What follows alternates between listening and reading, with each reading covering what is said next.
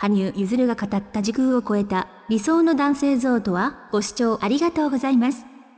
早速、今日も羽生選手のファンへ情報をご提供させていただきます。ピョンチャン五輪で金メダルを獲得したフィギュアスケートの羽生結弦選手が自身のスポンサーである P&G の会員制サイトで将来の理想を語ったという。羽生選手といえば、これまではピョンチャン五輪後に引退したい、指導をしてみたいなど、将来の思いを語ることがあったが、果たしてどんな理想を描いているのか、理想の男性像という形で羽生選手が語った将来の理想像は、なんと、かっこいいおじいさんなんだそうです。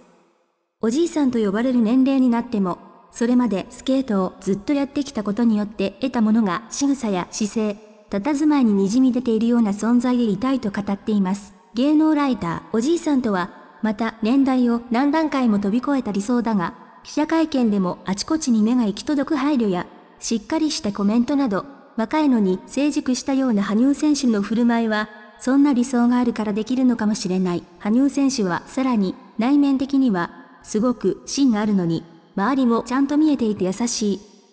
そういうかっこいい大人に憧れる、自分が周りに支えられているから、将来は周りのために尽くせる大人になりたいと続けている。その言葉や生き様は、すでに限りなく理想に近づいているようにも思える。柴木美子、ご視聴ありがとうございました。これからも一緒に応援していきましょうね。チャンネル登録をよろしくお願いいたします。